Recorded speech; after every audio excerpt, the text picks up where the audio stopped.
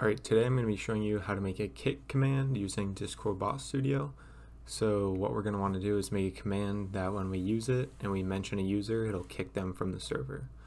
So first we can go to the commands page and then I'll scroll down to a fresh area and I'll click add command and I'll make a new command. We can call it kick and add that. And then the next thing we're going to need is a response uh, it's under variable category and then get mentioned user. So I'll just call this one get user to kick. Can add that and then connect it to the kick command.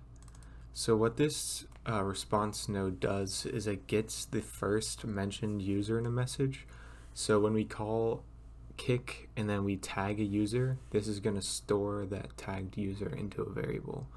So I'll just call that variable kick user for now and then save that.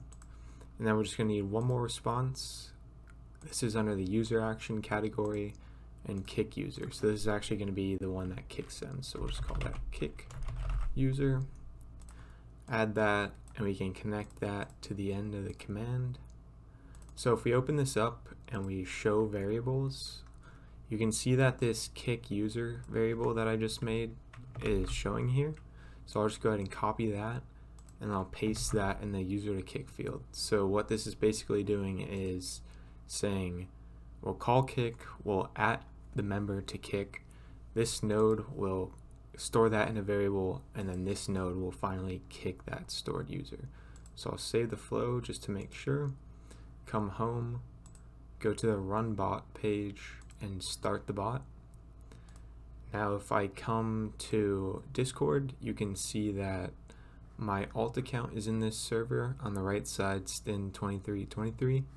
So I'll just test out that kick command now on that user. So if I call exclamation kick and then I tag that user, you can see on the right side they're no longer in the server and that's because they've been kicked. So that's it for this tutorial, more coming soon.